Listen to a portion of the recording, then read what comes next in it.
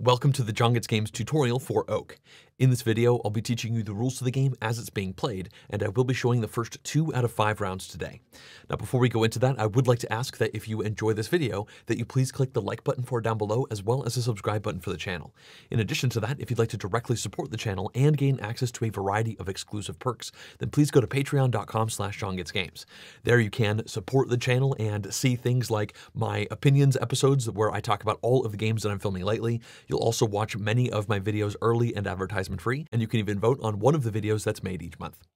Now, the last thing I'd like to ask is if while you are watching this video, any part of the game really jumps out to you, or if you see a turn where we really should have done something differently, then please comment about it down below because I'd love to see that kind of feedback. All right, let's now jump into the game. Out here, we have the game fully set up and ready to play for our three different players.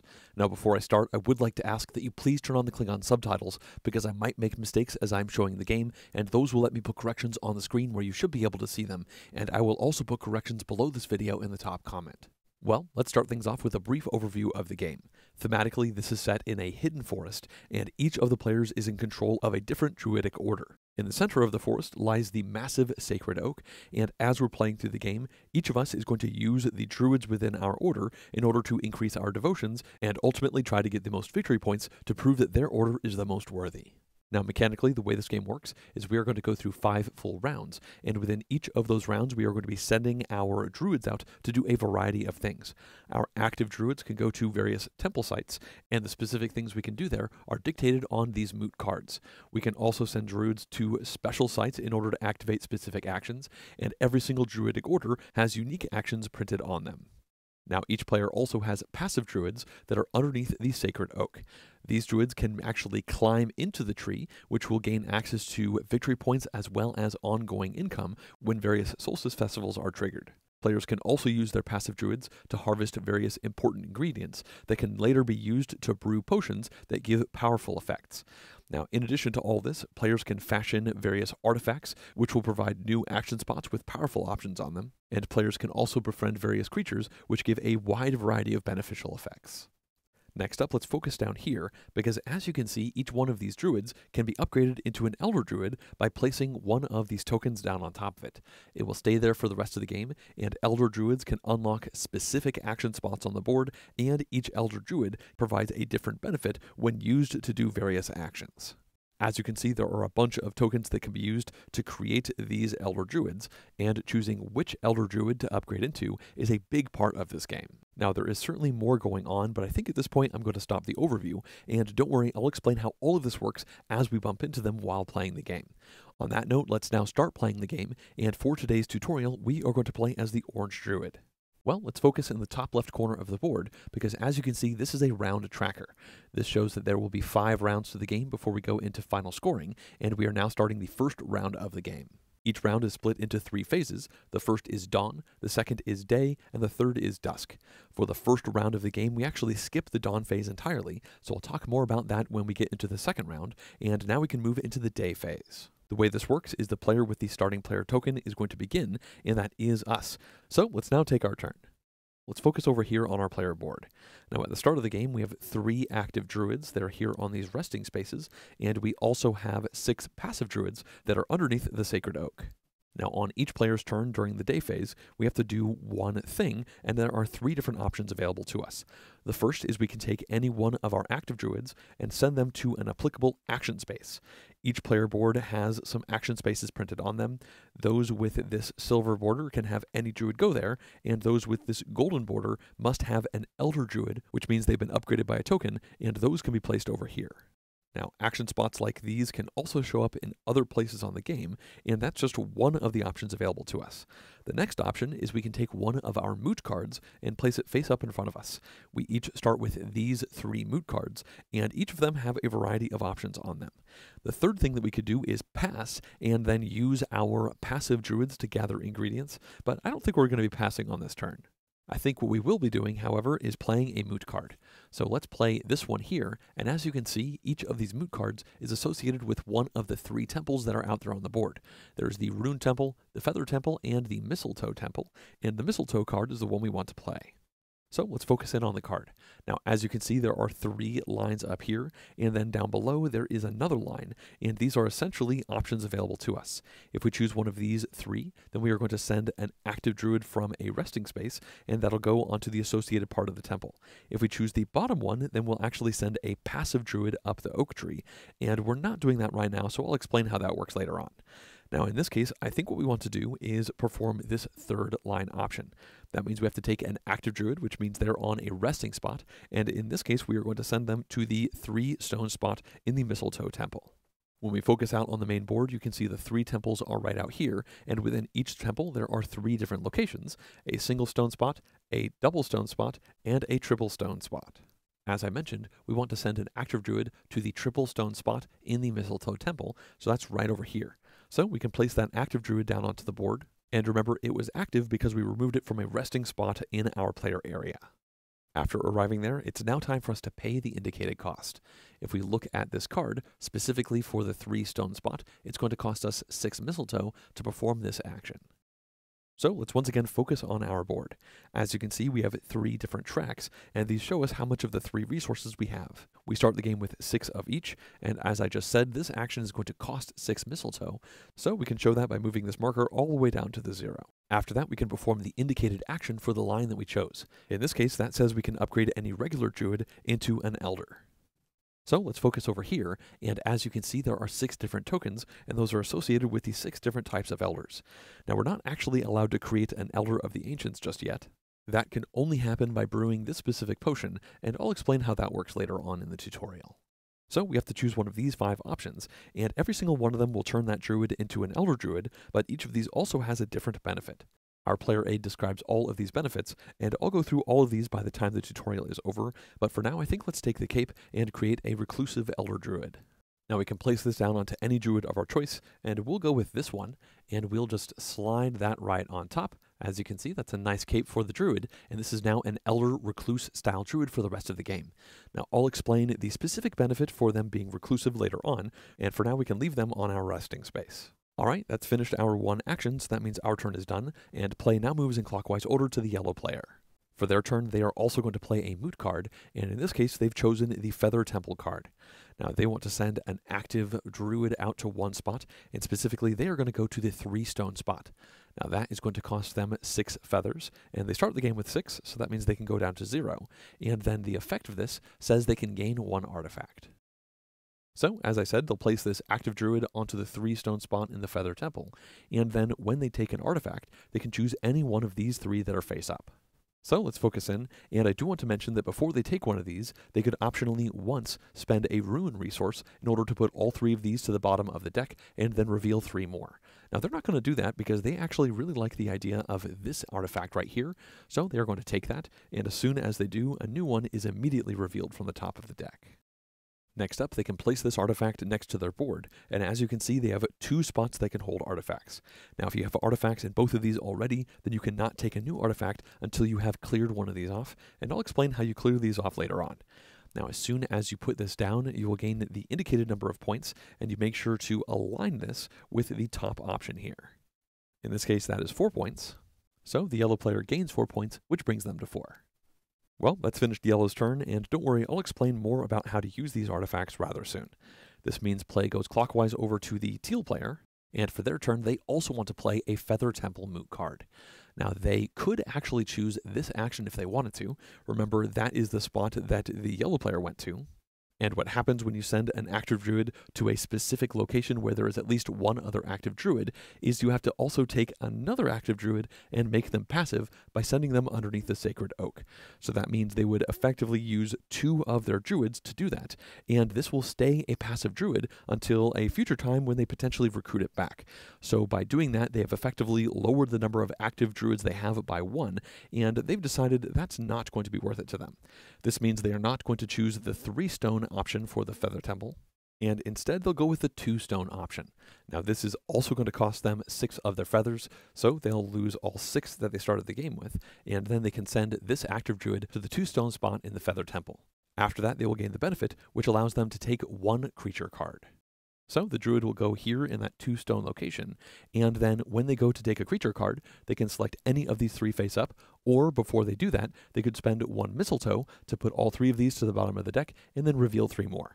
Now they don't want to do that. They actually really like the idea of this creature right here, so they are going to take that, and then immediately a new creature is going to be drawn from the top of the deck.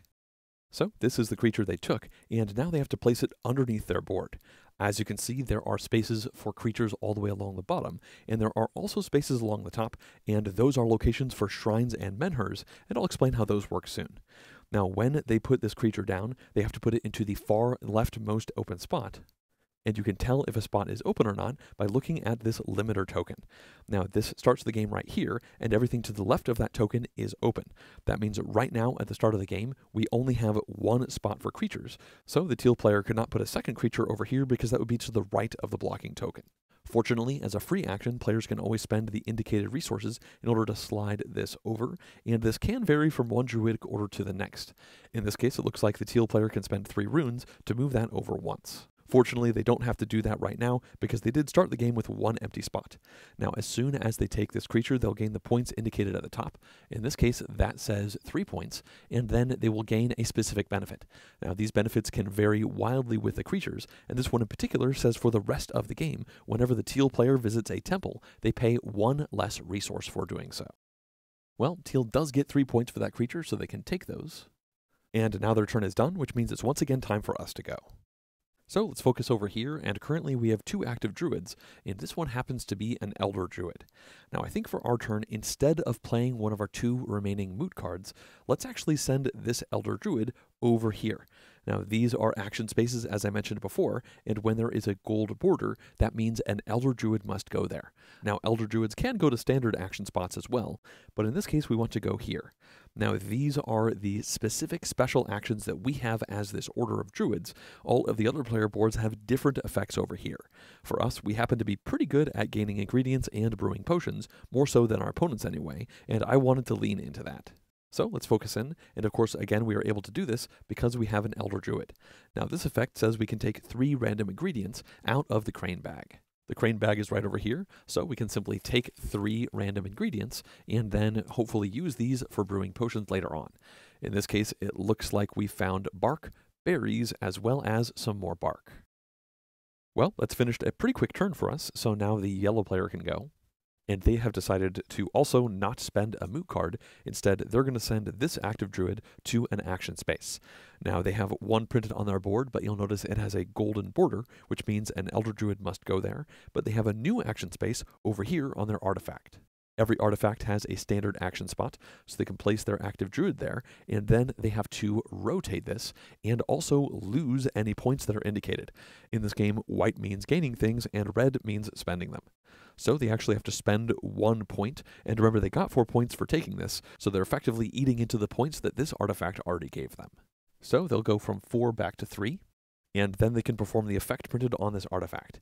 Now, as you can see, there are multiple steps here, and in the future, once this clears at the end of the round, they could go here again to spin this again. They'll lose two points, but then get to do this. The next time, they'll lose three points. They'll do this, and then this will flip over, and that will free up the spot for a new artifact, and they'll keep this in front of them because it's possible they could score extra points from it in other ways. Of course, that's not the case right now. It's right over here, and the effect for this artifact says they can take one creature card. So once again, they could take any of these or spend a mistletoe to see three more, and they really like the idea of this creature card here. Now that is going to get them three victory points immediately, which will take them up to six, and then they can take this creature and place it into their open spot over here. You'll notice they also had one open location at the beginning of the game, and in order to move this over for them, they just have to spend three resources of any type, not one specific type, and that's just one of the effects of this specific druidic order. Now, the effect of this card says for the rest of the game, the yellow player can send any druid to a special action spot. Remember, normally these require elder druids, but now they can send any of them, and this is huge for them, considering they have one of those on their board. So that means using this effect, they could send this druid to that action spot, and it's possible that's what they're going to do with their next turn, but we'll just have to see when the time comes. Alright, yellow is done, so that means the teal player can go again, and they've decided to play another moot card. This is going to be for the Rune Temple, and they are going to select the top option. Now, that would normally cost them three runes, but remember, they have a creature that lowers their resource cost by one, so they'll spend just two runes for this. That means they go from six down to four, and then they do have to send an active druid to the one stone location at the rune temple.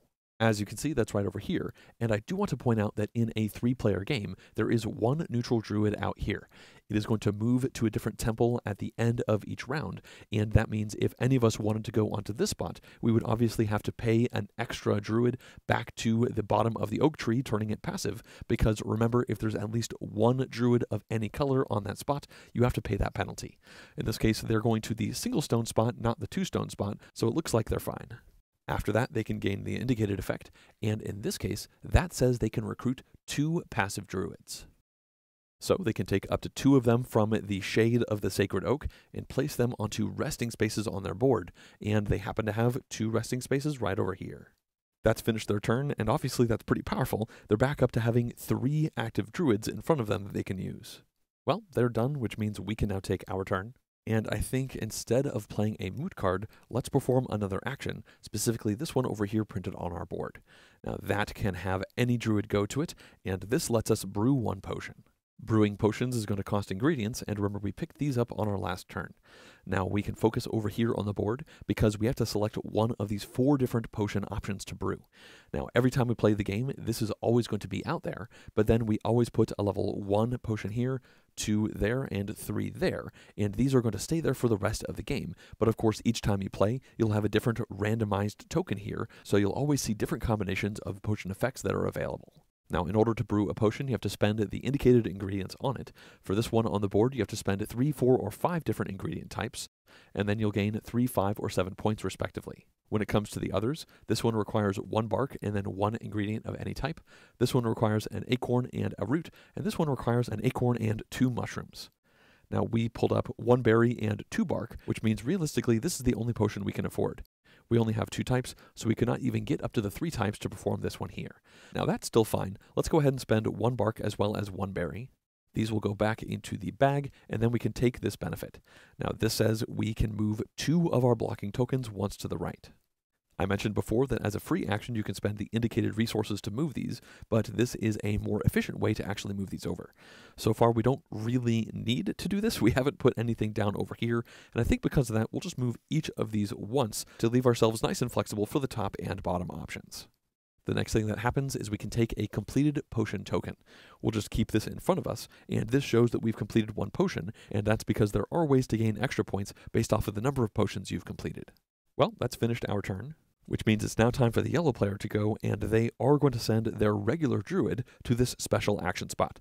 Remember, normally you would need an elder druid there, but they have a creature that breaks that rule for them, and then the effect for them is quite simple. They could take six runes, six mistletoe, or six feathers. Now, each of these tracks can only hold up to nine of these types, so they are simply going to take six feathers because it would be a waste for them to take either of the other options. Well, yellow is done, so that means teal can go again. After considering their options, they're going to play their third moot card, and they're going to head to the Mistletoe Temple. Now, the option they're going to go for is this one. That's the two stone option, and it'll cost them five mistletoe. So that would normally bring them down to one, but remember they have a one resource discount, so they'll only spend four mistletoe for this, so that goes down to two.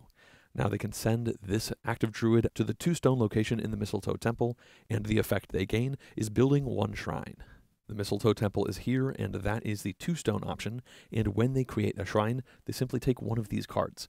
Every one of these has a menhir on one side and a shrine on the other, so they can flip it over to the shrine side, and then they can tuck this under an open spot at the top of their board.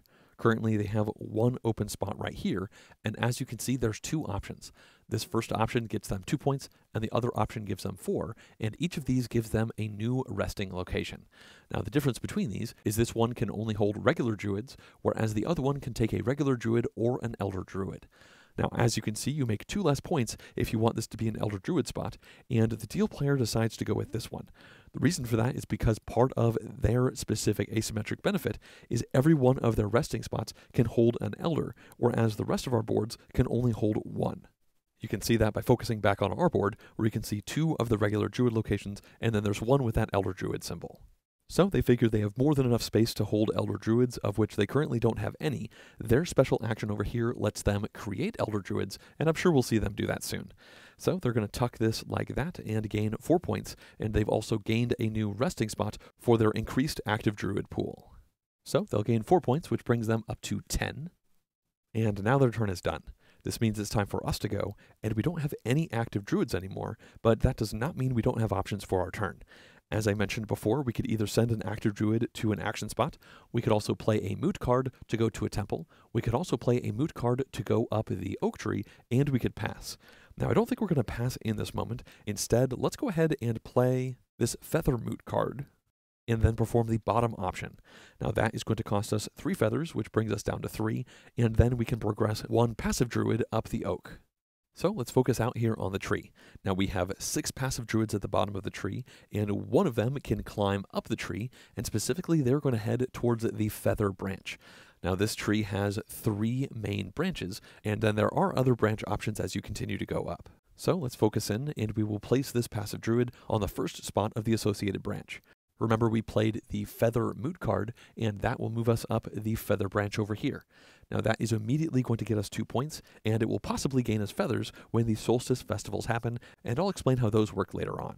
So we can gain two points, and those are the first points we've gained this game so far. And I do want to point out that whenever you go up the oak tree, if you already have a druid on that specific branch, you simply move them up the branch. You don't add a new one onto the tree. That means each player can have a maximum of three druids on the tree at any point in the game. This also means that once you reach a branch off point, you'll have to choose which of the branches to go down because you will not be able to go down the other one. Well, at this point, we are done with our turn, so now the yellow player can go, and they are also going to play a moot card to do an oak tree action. After considering it, they're going to go with the mistletoe option, so they have to spend three mistletoe to do that, which will bring them down to three. And then they'll send a passive druid up to the mistletoe branch, and that is also going to get them two points. Yellow is done, so teal can go again and they have decided to activate this action spot. Now that effect lets them turn any of their druids into an elder druid, and it looks like they've also decided to go with the cape to create a reclusive druid, and again, I'll explain how that works along with all of the elder druid options later on. Well, teal is done, which means we can go again. And we could pass, but I think we're actually going to hold off on that and instead play our final moot card. This one says we can spend three runes to advance once on that limb of the tree. So we'll go down to three runes total. And then we don't have a druid in the rune branch. So a new passive one's going to climb up the tree, and that is going to gain us two victory points. We are done, so yellow can go, and they could also do this if they want to. And considering they have so many resources, they're going to go for it. They are going to spend three runes, which brings them down to three and then they can send a passive druid up to that same spot, and there is no benefit or penalty for sharing a spot with a druid. So that is going to get the yellow player two more points. And now it's time for the teal player to go. Now, for their options, they have no more moot cards, so they can't play any of those. And when it comes to action spots, they don't have any on their board, but there is one on the main board as you can see right up here in the top right corner. Now there's one of these spots for every single player, so in each round, every player can activate one of these. It requires an Elder Druid to go there, and when you do, you then have to spend three feathers, three mistletoe, and three runes, but then you can build a Menhir. As you can see, this just gives you six points, but six points is quite a lot. Now, at this moment, the teal player does not have room at the top of their board for one of these and they also don't have the resources to pay for this. Uh, of course, they'd have to pay extra resources to move their locking token. So unfortunately, this is not an option for them right now.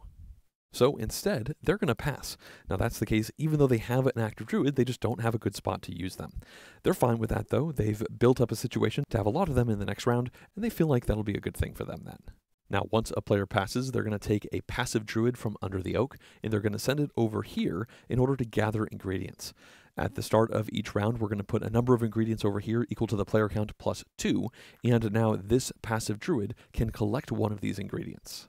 In this case, they've decided to take this mushroom, and that's their entire turn. Now, once you pass once in the round, you'll have to pass on every subsequent action for the rest of that day phase. Each time you pass, you take a new passive druid from under the tree, go over here and take an ingredient if possible. If you don't have any more passive druids, or if there are no more ingredients over here, then in that case, you just pass and don't actually do anything else. Well, teal is done, so now we get to go, and we are also going to pass. We don't have any more moot cards to play, and we don't have any active druids either. So we can move a passive druid over here, and then, hmm, I feel like we should take this root or this acorn, and, you know, let's go for the root. After that, yellow can go, and they are also going to pass. And they've decided to take an acorn. After this, it's time for teal to go again. Now, at this point, you'll notice that everyone has passed, but we only finish the day phase once everyone has passed, and there are no more ingredients over here.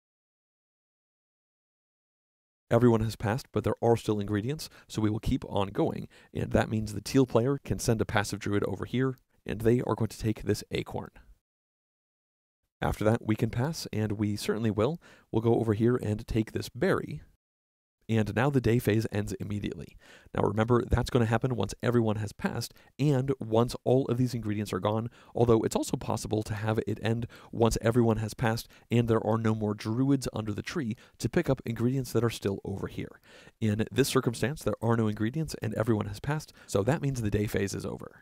This means we can now perform the dusk phase of the first round, and the first thing that we need to do is take all of our druids that are on temples or action spots or on items and place them back onto resting locations. Now, if you don't have enough resting locations for those druids, then all of the extras go back over here underneath the oak tree. So for us, we can take this druid here, and then we can place these over there. And now we can talk about the special effect of the Recluse. You may have noticed this spot over here on the board, and that is specific to the Recluse. Now, I took this because I was hoping we'd also potentially be able to increase the number of active druids that we had to make use of that, but it looks like that wasn't the case, so I probably should have created a different type of Elder Druid, but either way, that's fine. We'll have this for the rest of the game, and I'm sure at some point we'll be happy to have that spot open for us. The teal player can also do this, and they also have a recluse, so they can put the recluse over there and then take all of these druids back. And as you can see, because they created this shrine up there, they now have spots for all of their active druids. Lastly, yellow will do this as well. They can remove this one from their artifact, and this one from their board. The next thing that happens is we lock all of the final spots on this tree that have a druid on them. Now, at this point, we are just here at the front, but as you can see at the very ends of each of these branches, there is a key icon. As soon as any player reaches a spot with a key icon, they immediately in that moment score points depending on this criteria. For this one, you simply get one point for every five points you have, and this one gives you two points for every Elder Druid you have. That one gets you two points for each creature card you have. This is two points for every potion that you have brewed. That one is two points for every menhir and shrine you have. And lastly, this one gets you three points for every artifact you've completed or are working on next to your board. So obviously, moving down these branches is something you want to keep in mind in order to get points for the things that you have already done. We already have one brewed potion, so I'd love to make it along this branch here, but of course we haven't even started on the mistletoe branch yet because we used a mistletoe card in order to perform a temple action. Now, as I said, at this moment, if any of these druids were at the end, we would lay them down, and that locks that scoring option for the rest of the game. This means multiple players can do this scoring option as long as they reach that spot within the same round. Then, once you lie them down, that means no player can go past this spot for the rest of the game. Obviously, in this moment, though, no one is near the ends of any of those branches. Next up, all players can take all of their moot cards back into their hand. And then all of the druids over here are going to go back underneath the oak tree, and we have to draw new ingredients until we have a number equal to the player count plus two. The next thing that happens in a three player game is we're going to move the neutral druid clockwise to the next temple, and we always place them down onto the stone spot that shows an illustrated figure. So that means they will go from the two stone spot in the rune temple to the three stone spot in the mistletoe temple, and up in the feather temple on the next round, this neutral token will be on the one stone spot. After that, they'll go back over here, and we'll continue to move once in the dusk phase of each round. After this, we now have to move the solar marker. It goes along this track that's next to the victory point track, and it just moves to the next available spot. We'll put it right over there, and whenever the solar marker reaches a spot that shows this icon, that is the moment that we will immediately have a solar festival, and I'll explain how that works once it happens. After this, we can pass the starting player token clockwise, so the yellow player will be the starting player. And finally, we can move the round tracker forward to show that we are entering the second round of the game. Well, we can start the second round off with the first dawn phase of the game. Remember, we skipped the dawn phase in the first round, and the dawn phase is quite simple. Everyone will gain their listed benefits for the dawn phase. Now, every player is going to gain three of each of the resources. So we will go up to six feathers, three mistletoe, as well as six runes. And players can also gain this icon from other spots like creatures. For example, if any of us had this creature, then in this moment we would gain two extra feathers. I do want to point out that this dawn phase income is different from the solstice festival income, and I'll explain how that works later on. Now, I just realized that we should have immediately revealed a new creature back when the last one was taken. That was a little bit ago, sorry for missing that. This card should definitely have been there already. Now we can perform the dawn phase simultaneously, so we can see the teal player is going to go up to three feathers, they will have five mistletoe, and they will have seven runes. And the yellow player now has their maximum of nine feathers. They also have six mistletoe and six runes. All right, that's finished the dawn phase, so now it's time for day, and the yellow player gets to go first. After considering their options, Yellow has decided to start by visiting the Rune Temple, and they want to activate the three stone option. That is going to cost them four runes, so they'll go down to two, and then they'll send an active druid out to that spot. That's the first druid going onto that spot, so they don't have to suffer a penalty of putting another active druid down as a passive one under the tree. Next up, they can gain the benefit. Now, this lets them gain one advanced moot card, and as you can see, there are three of them available. Each player starts with the same three basic ones, and this will gain them one of these, and they will have it for the rest of the game. So they have to look through these and make a decision. In general, these are either cheaper versions of other things that we've seen already, or more powerful options than the options that we've seen already. Now, after considering all of these, they would like to take this one, so that means they now have two moot cards that allow them to interact with the Feather Temple. This also means they have two moot cards that would let them move up the feather branch on the oak tree. Yellow is done, so we can move clockwise over to the teal player. Now, they've decided for their first action, they are going to visit this spot here. That lets them upgrade any druid into an elder. And they've decided to create an ovate. They can take this bag of ingredients and they'll put it like that around this druid. They are now an elder, and the benefit of this specific type is whenever this druid brews a potion, they pay one less ingredient because they have ingredients in their pouch. By doing that, it does seem like the teal player is telegraphing that they are planning on brewing a potion, and they do have a couple of ingredients in front of themselves. Well, it's now our turn, and I think what we should do is increase the number of active druids we have in front of us. Specifically, let's do that by playing this card, and we will do it for the single stone option. That is going to cost us three runes, so we will go from six down to three. Then we can send an active druid to the single stone part of the rune area, and then we can recruit two passive druids and then place them onto resting spots in our area. So we'll put this druid here and then recruit two from under the oak and we'll place them just like that. All right, that's finished our turn. Well, the yellow player can take their turn again, and they are going to play this card, and they're going to use the middle option. That is the two stone area of the mistletoe temple, and that's going to cost them five mistletoe, which brings them down to one. This will let them build a shrine in front of them, and they do have to place an active druid onto the mistletoe temple. Fortunately for them, there are no other druids on the spot. Again, if there was one or more, they have to take another active druid from their area and then place it as a passive druid underneath the oak tree. So they can create a shrine, and currently they don't have any elder druids in front of them. So they don't feel a burning need to have another elder druid spot to have them rest. So they'll go with this option and then take four points. That's going to bring them from five up to nine.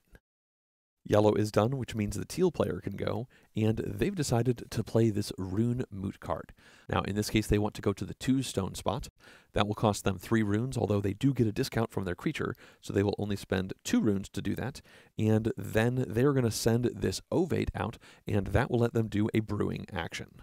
It looks like the Rune Temple is the place to be. Everyone has gone here so far in this round, but so far we've managed to avoid going onto a spot that has any other druids in it. All right, Teal can now brew a potion, and remember this elder says they pay one less ingredient to do that. So let's focus over here, and the teal player only has these two ingredients. Now they get a discount, and because of that, they're going to brew this potion over here.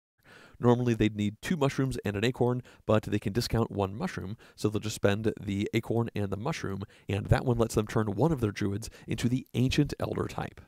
So they'll place these antlers onto that druid, and they are now an ancient elder. Now, at this point, I think it's now time to talk about the benefits of all of the different elder types because the benefit of being an ancient elder is this acts as if it was all of the other elders. So, this has every single benefit wrapped up into a single elder druid. So, let's talk about the rest of these because this druid now acts as all of them. Now, the top one right here is the Archdruid. You put this on top of it, and then whenever you place that Elder into a temple spot or onto a special action spot, you pay two less resources to do that. The teal player already has a base discount of one, so they could use that to increase their discount even more. The next type is a bard. They put this instrument around them just like that, as you can see, and the bard is going to sing tales of creatures as well as sacred sites. Now, what this means is when you gain a bard, you are going to take this board right here and put it to the left of your main board. By doing that, you increase the number of open spots for shrines and menhirs by one, as well as the number of spots for creatures by one. Moving on, we've already talked about the Ovate, which is going to give a discount of one when brewing potions. And then after that, we have the Talon Master. The special effect of this one says they could go onto a temple spot that has at least one other druid, and you do not pay the penalty of having to take one of your other active druids and making them passive under the tree. After that, we have the Recluse, which we've already talked about. And finally, we are down here with the Ancient, which applies to all of these. Now, I said that you put this board out when you take a Bard, but actually, when you take the Ancient, you take this board here and put it down there instead. The reason for that is because this acts like the Bard board. As you can see, it adds one more Shrine site and one more Creature site, and it also acts as the Recluse board because as a specific place for that Ancient Elder to reside. So only this elder can go onto that resting spot. This means in the future, if the teal player does create a bard, then they could place this to the left once again and increase the number of shrine spots and creature spots by one once again. Another way to increase these is, of course, by moving these over, but that does cost resources, whereas this does not. Now, obviously, the teal player has not created a bard just yet, but as you can see, this ancient is very powerful. Now, I mentioned at the beginning that the only way to create these ancients is with this specific potion. So, if this potion did not come out during setup, then in that play, there would be no way to create an ancient elder. Well, that was a pretty big turn for the teal player, and they are now done. All right, it's time for us to go, and I think let's send our recluse over here. That way we can pull three ingredients out of the bag. It's possible we could pull two mushrooms and one acorn in order to create an ancient elder of our own, but I think the odds of pulling those exact ingredients out are pretty unlikely. So let's see what happens. The three that we got are going to be some more bark as well as roots, and we got an acorn. Now, at this point, I do want to mention that there is a free action that says at any point, players can discard any two ingredients back into the bag to gain one resource type of our choice. So that means in a worst case scenario, if we get ingredients that just aren't working out for us for potions, we can turn them into resources that we might need. Well, at this point, we're done with our turn. So that means the yellow player can go, and they want to play this advanced moot card. Now, if we look at the details, we can see the top option costs zero feathers, and that lets them recruit a single passive druid, and they become active onto a resting spot. The second option says they can spend one feather, and then perform one oak tree advancement, going up any branch of their choice. The last option says they can spend four feathers in order to turn one of their druids into an elder. So it looks like they've decided to go with the top option so they don't have to spend any feathers at all. They'll place their druid onto the single stone spot in the feather temple and then recruit another druid. So far, they're the first one to go into the feather temple at all, and then they'll recruit this druid, which will go onto one of their resting spots. All right, yellow is done, so teal can go. And on their turn, they've decided to play this card here. That's going to take them to the Feather Temple. They don't want to do an oak action. And in particular, they want to go to the third stone spot. Now, that normally would cost them six feathers, and currently they only have three. However, when they send their ancient elder over, that is going to get them a two discount on the temple because, again, it also acts as an arch druid. And then they get one discount from this creature, so that's three off, which means they only have to spend three feathers instead of six. This is going to place them into the three stone spot in the Feather Temple, and now they can take an artifact. So they're going to look over here, and this artifact lets them turn all of one resource into another type, plus they get three more on top of that each time they activate it. This one would let them upgrade one of their regular druids into an elder, and this one would let them take three ingredients out of the bag. Now, they've decided they're not actually interested in any of these three, so they're going to spend one rune, which brings them down to four, and then they can place all three of these to the bottom, and then they'll reveal three more. Now, you can only do this once per action, so they have to choose one of these three. And this one right here would let them perform a brewing potion action at a discount of one when they activate it. That one would just give them six runes when they activate it, and this one would actually let them reactivate a moot card they have already played. They don't have to play any other druids out, and they also don't pay any costs associated with that reactivation. After thinking about these options, this is the one they want to take. After that, a new one is going to be revealed. Oh, and that one simply gets you two points every time you activate it. You'll notice this one does not actually cost you points when you keep activating it compared to the rest of these, which do cost points. So Teal can place this right over here, and they'll line it up with the four point spot, so that will immediately get them four points, which will bring them up to 16. And that has finished their turn. This means it's time for us to go, and if we look out at the temples, there are only two spots left that don't already have at least one druid on them. And of course, if we go to any of those other spots, we'll have to send another active druid out to the oak and they'll become passive. Currently, our moot cards are Feather and Mistletoe, so these two here. So if we don't want to suffer that penalty, our options are the two stone spot over here for Feather, which would let us spend six feathers in order to gain a creature card. And the other one is the single stone spot for Mistletoe, and the effect of that costs three Mistletoe, and then we could look into the ingredient bag and take one ingredient of our choice between the two of those, I think I'm much more interested in gaining a creature card. We haven't gained any so far this game, so I think let's play this one. Now that is going to cost us six of our feathers, and then we can send an active druid over to the two stone spot. Fortunately for us, we had exactly six feathers, but remember we could also spend two ingredients to gain one resource of our choice as many times as we want as a free action. All right, let's look up here to the creatures. Now, this one over here would get us two feathers as a part of each dawn phase. That one right there says every time we play a feather moot card, we could perform a temple action and then pay one extra feather to also move up on the feather branch of the tree. So you essentially do a temple and an oak action at the same time. This last one down here says that for the rest of the game, you can treat any temple space as if it was the single stone space. Now, currently we have no feathers, so gaining some feather income is tempting, but I am also tempted to cycle these out and see three other options. Yeah, I think let's do it. This is going to cost us one mistletoe, and we can only do this once. So that'll bring us down to two. So let's place all three of these to the bottom of the deck, and then we'll have to choose one of the next three that we see. This one right up here says you gain one point every time you activate an artifact that you already have. Uh, that'd be pretty great if we had artifacts, but so far this game we haven't picked any up. This one is quite simple. You just get five points, and there is no ongoing effect. And then lastly, this one's interesting. That says for the rest of the game, every time we would take a new creature card, we would do it at a discount of two resources. I think out of these three options, that's the one I like the most especially considering we already have another open spot over here for another creature. Unfortunately, I don't think we'll have a way to recruit another creature within this given round, but I think that is going to set us up well for the future. Next up, we have to immediately reveal another creature card. This one, oh, says when you're brewing potions, you could spend two resources of your choice to substitute an ingredient that you need for that potion. All right, we're done, so that means the yellow player can go, and it appears they have less active druids than they would like. Uh, they haven't used this action so far in this turn to get six of a resource, which is a powerful action considering they have this creature which lets them do it, but they also feel tempted to send this druid out to do something else. In particular, they are interested in activating this. And between these options, they are going to go with the artifact. So this is going to rotate and it will cost them two points. This lowers them down to 7, but then they can recruit a creature, and they want this one, which will gain them a point every time they activate an artifact. After they take this, a new creature is going to appear. Ooh, this one says when you take a creature, you can look at the top 6 creature cards and choose one of those instead. Now, in order to place this down, they need an open creature spot, and they don't currently have one.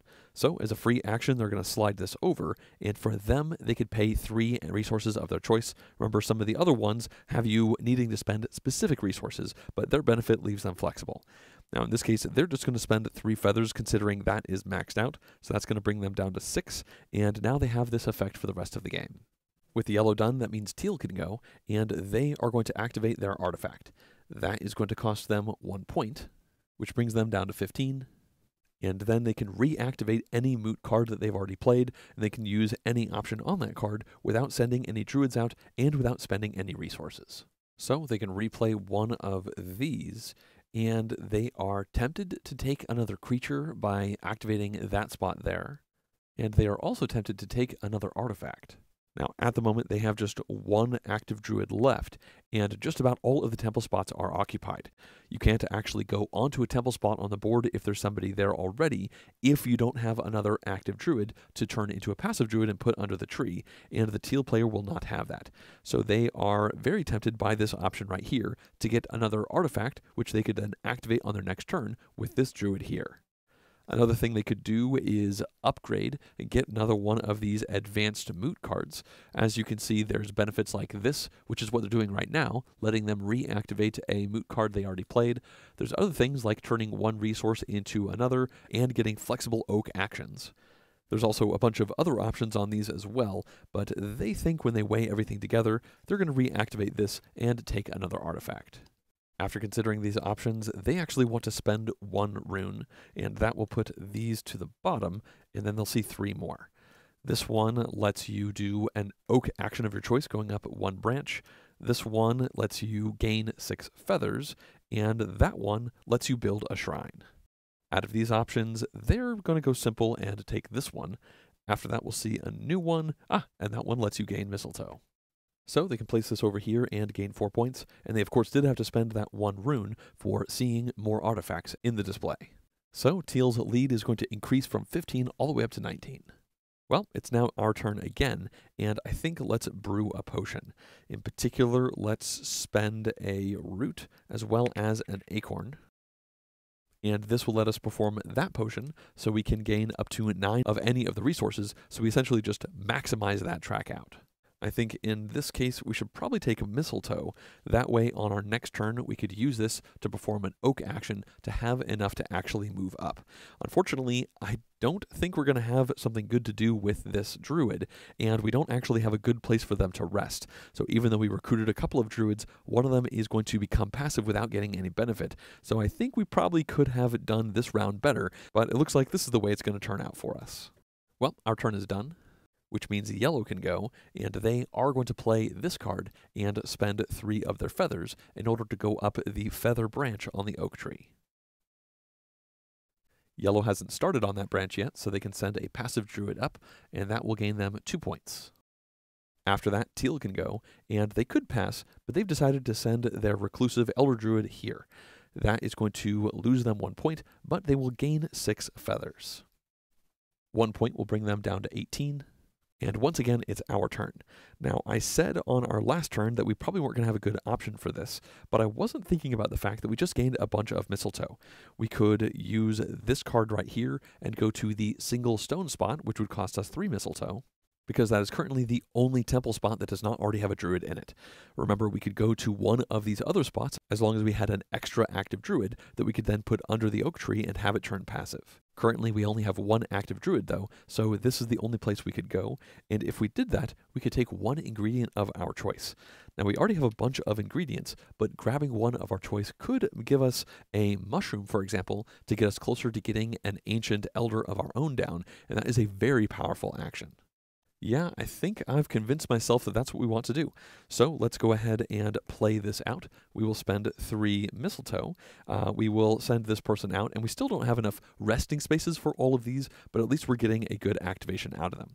Now we can gain one ingredient of our choice, and I do think we want a mushroom, considering we need two mushrooms in order to actually create that ancient elder. So we can find a mushroom in the bag. And that has finished our turn. After this, yellow can go, and they are going to pass. So a passive druid can go over here, and they are going to harvest this mushroom. They already have an acorn, so it looks like they're hoping to also work towards getting an ancient elder. After that, the teal player can go, and they are going to play this card for the oak action. That is going to cost them three of their mistletoe. And this is actually the first oak action of the game for the teal player. They're going to head up here to the mistletoe branch. That is going to gain them two points And at this point, I would now like to talk about these tokens over here. Now, whenever any player has a druid cross over one of these, we are going to remove that token, and then the solar marker will move forward once. As you can see, in a 2 and 3 player game, we double stack them here, and in a 4 player game, you simply put them out there. And again, it's when they are crossed that they are removed, and then that moves the token. This is important because when this token moves, that could activate a Solstice Festival. Now we know this token is going to move as part of the Dusk phase, so we are going to see a Solstice Festival at that point. and frequently you can also see these happen in the middle of the day phase when somebody crosses one of those solar movement tokens on the oak tree. Well, the teal player is done, so now we can go, and let's go ahead and pass. This means we can take one of these ingredients, and we currently don't have any acorns, and acorns are needed in two out of these four different potions.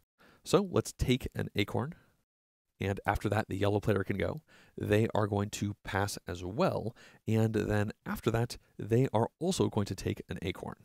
Next up, the teal player can go, and they are going to pass.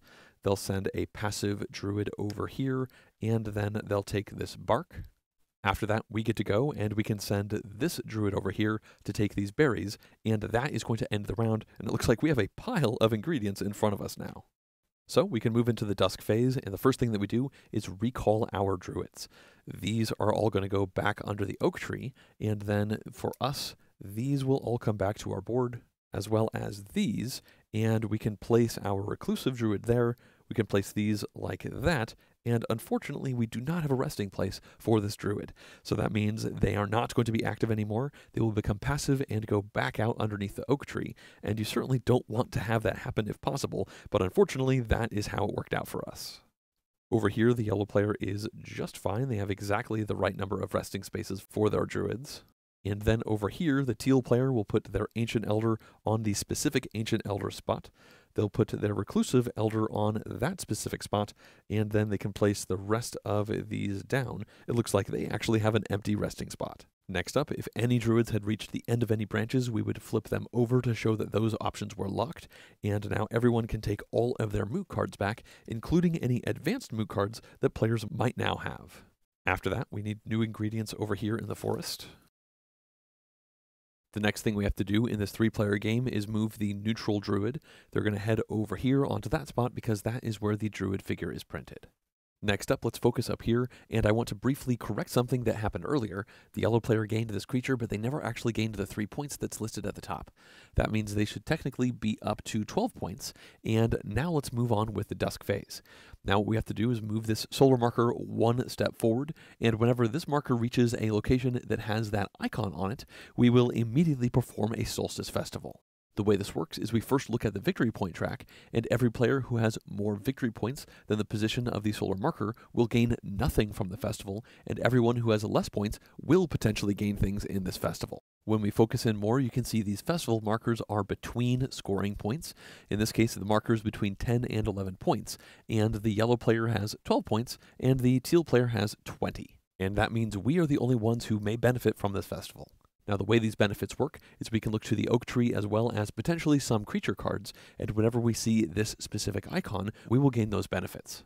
Let's focus in more, and as you can see, we have a druid on this spot, and it shows that icon with a feather. That means we are going to gain one feather, and obviously yellow will not gain anything because they have too many points for this Solstice Festival. We will also gain one rune, and again, neither the yellow or teal players will gain anything in this moment.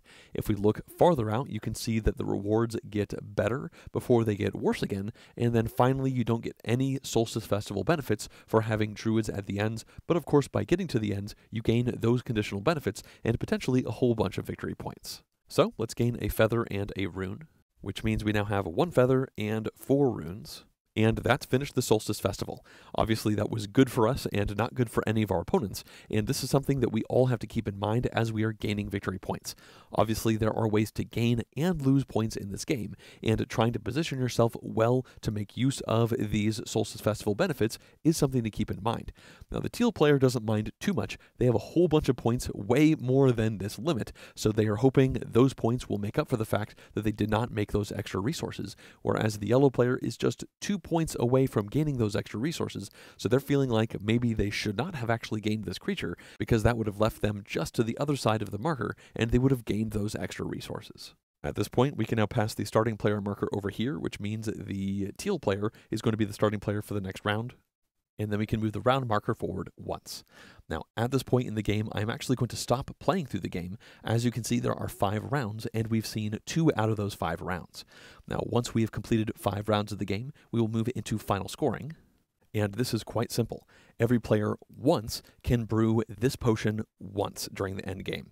So you can cash out on a variety of different ingredients to get a bunch of points.